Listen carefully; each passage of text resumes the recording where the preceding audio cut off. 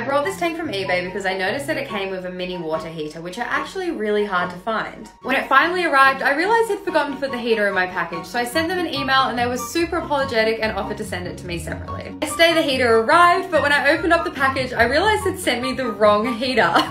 were really apologetic about the mistake, and my new proper heater will be arriving in two weeks, so I'm super excited to set up my DIY Sea Monkey tank in two weeks time. And side note, even though this whole process has been so back and forth, the customer service throughout has been impeccable. So once the heater arrives, I'll let you guys know where I got it from so you guys can get one too.